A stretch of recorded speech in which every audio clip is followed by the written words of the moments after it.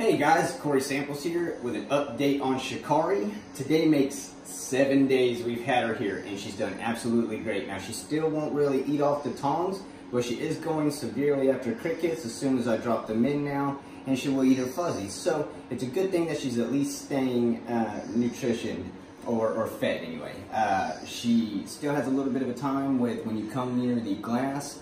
Uh, if she's too close and you make a fast move, she will run off.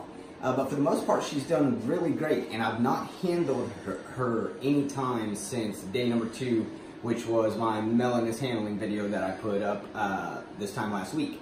So for now, uh, let's jump into it. I've got her in the tub already, uh, so she can have her bath going on. And if you can't already tell behind me, that I have some netting and binary hung up. Now, I will go ahead and move this because I, Nice uh, top. I didn't think about that, the wife. Sorry about that.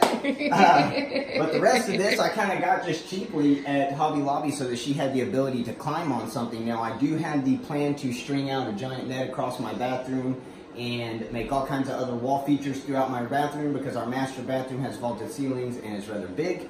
Uh, but for the most part right now, we're just dealing with this small area until she learns to trust her environment and start exploring. So let's get into it and see how she's doing.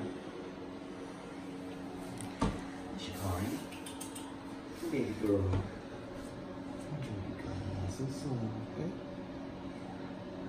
I'm not very good at this. I hit the wrong button.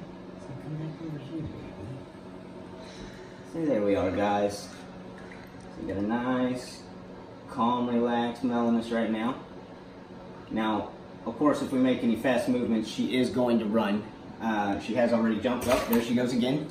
Uh, she's not a big fan of cameras yet, uh, but with time we'll, we'll tame that out of her because uh, the camera will pretty much always be on her.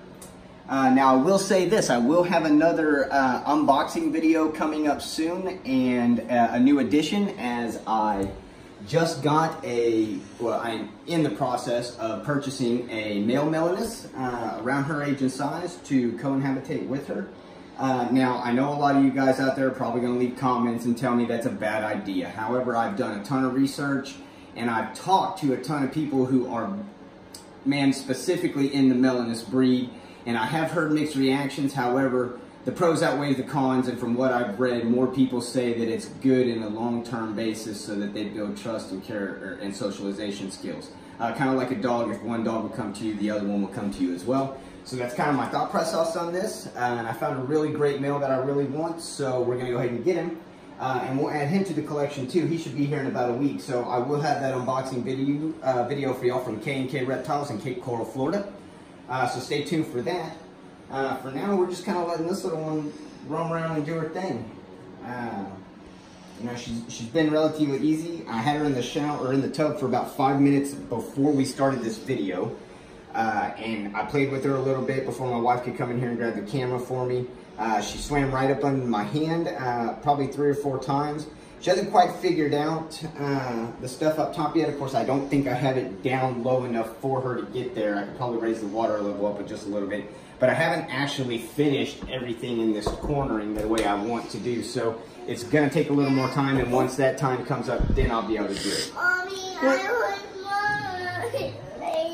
Sorry, that's the my daughter coming in here because she hurt herself. However, she is doing quite well. She's being a nice, beautiful little girl. She's been nice and calm. Okay, slow. Be very slow. Okay. Stand back, baby. Don't stand over the don't stand over the tub so we're not scaring her, okay? She'll come back around so we can see her.